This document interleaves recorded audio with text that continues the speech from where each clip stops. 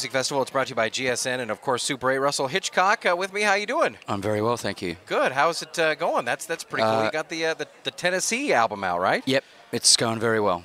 Just starting to promote it now, and I'm glad to be here. It's very uh, quite overwhelming. This this deal here, I've never done this before. This this kind of an event. Yeah. Yeah. No, it's it's kind of a whirlwind trip around the country. It Just is. in, in the uh, couple in the hour or two that you're here to Yeah. do this. But uh, what so what uh, kind of brought on the idea of doing the uh, the Nashville sessions? Um, I was in Los Angeles, where I live, uh, about two years ago. A friend of mine introduced me to Rob Rappaport, the guy that produced the recordings, and we were having lunch. And Rob said, uh, "How would you feel about recording in Nashville?" It was as simple as that. And I said, "Of course, you know, what, why not?" And uh, we kind of got stuck into it pretty quickly. We listened to maybe two or three hundred songs before picking the the songs that ended up on the recordings. Um, I'd been here many times to Nashville with Air Supply, of course, performing, and I have a lot of friends in the city, and uh, I kind of had a feeling for, for the town. I've always loved being here, yeah. but to record here was, was great. Yeah. No, it's it's kind of a magical place for that. I would It, imagine. it is, it is.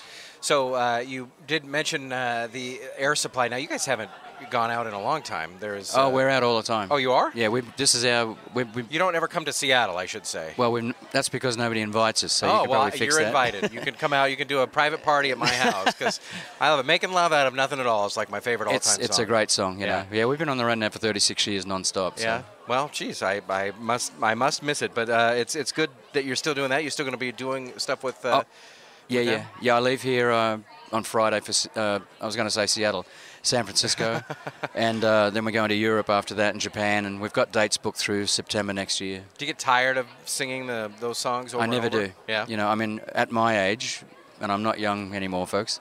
At my age, uh, I don't like travel anymore. It's always a pain to get on a plane Mm-hmm. anywhere in the world these days. I don't like, you know, some of the hotels and stuff. But I mean, once you get to, to work, and I call it work because it is my job, once the house lights go down and there's an audience there, it's like the rest of the day didn't even matter anymore. You know? Right, and, and here's the thing: is you hear sometimes, you know, on the VH1 shows that people are like, "Oh, I hate that song," you know, even though it's the one that made us famous. Yeah. But that's so great because these people that are coming to see you, they want to hear them all. Yeah. Well, so that, that's got to pump you up. Well, it, it always feels good, and, and we rotate two or three of the songs out of the set. From time to time. But basically, you know, songs like "Making Love Out of Nothing at All" or "Here I Am" or Right. you know the one that you love. I mean, I just get a, a, a great charge every night because when you play a concert, obviously you get instant reaction from the fans, and when you when you know that what you- what you did so many years ago is still relevant for their lives and it touched them as deeply as it did and still does, it's a great feeling. Well, it still does. It's timeless. I mean, it was the it was the soundtrack of my uh, you know fourth grade love life. So I'm, uh, you know, which was you know I, I kind of peaked and then it was downhill after that because you know there was no more air supply. I mean, you're still performing, but Yep. all right. So Russell Hitchcock has the uh, Tennessee, the Nashville sessions, the uh, CD. It's out already. I think it's right here. Yes. Good looking fella on the front. that is a good-looking fella. Yeah. Hey, speaking of uh, good-looking fellas, where do you get a shirt like that? Because uh, that that I think I don't know if I could pull it off like a Of big rock star could. like you, but uh, where do you get something like There's that? There's a shop in town called Flavor. flavor. Yeah, and in Okay, fact, write the- that down. The guy's Flavor. name is Robert Graham. Okay. The, I mean, they're all over the place. You can Yeah. get them anywhere. Yeah. That, I'm sure they have them in Seattle too. Okay. Good. Well, uh, yeah, it might be out of my price range though, but that's. Uh, yeah. Russell Russell Hitchcock, uh, Tennessee, the Nashville sessions. We appreciate you stopping by. It's good to meet you. My pleasure, man. All right. Thanks good for luck your with time. it. Thank you. Thank you.